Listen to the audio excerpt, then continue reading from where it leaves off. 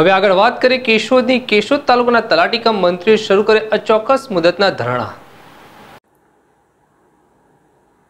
ગુજરાત રાજ્ય તલાટીકમ મંત્રી મહામંડળની વિવિધ માંગણીઓ, પડતર પ્રશ્નો બાબતે ઘણા સમયથી રજૂઆતો, આવેદન વિરોધ પ્રદર્શન સહિતના કાર્યક્રમો યોજાયેલા હતા.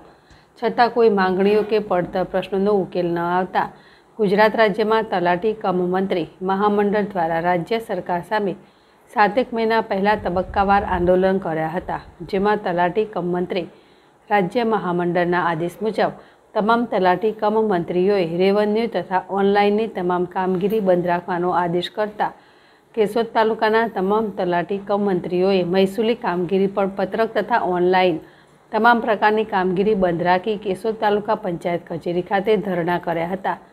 ત્યારે સરકાર દ્વારા તલાટી કમ મંત્રી મહામંડળની વિવિધ માંગણીઓ પડતર પ્રશ્નો અંગે ચર્ચા વિચારણા કરી નિરાકરણ લાવવા આશ્વાસન આપેલ હતું. જેના પણ મહિનાઓ વીતવા છતાં કોઈ નિરાકરણ ન આવતા કેશોદ તાલુકાના તલાટી કમ મંત્રીઓએ તાલુકા પંચાયત કચેરી ખાતે અચોક્કસ મુદતના ધરણા શરૂ કર્યા છે. કેશોદ તાલુકાના તલાટી કમ મંત્રીઓના અચોક્કસ મુદત માટે ધરણા શરૂ કરેલ છે. ત્યારે તલાટી કમ મંત્રીઓની વિવિધ માંગણીઓ સંતોષવામાં આવે છે કે કેમ તે જોવાનું રહ્યું.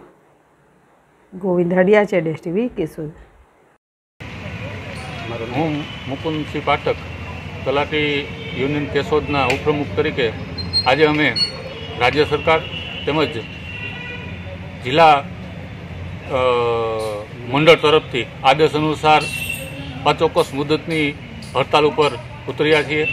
અગાઉના અમારા આજથી નવ દસક મહિના પહેલાં હડતાલ ઉપર ઉતર્યા હતા. ત્યારે સરકારશ્રીએ અમને આશ્વાસન આપેલું કે જે અમારા છ સાત મુદ્દાઓ હતા એ મુદ્દાઓનું નિરાકરણ અમે જલ્દી લાવી દઈશું પરંતુ આજ દિન સુધી અમારા તે તમામ મુદ્દાઓનું નિરાકરણ હજુ સુધી આવ્યું નથી.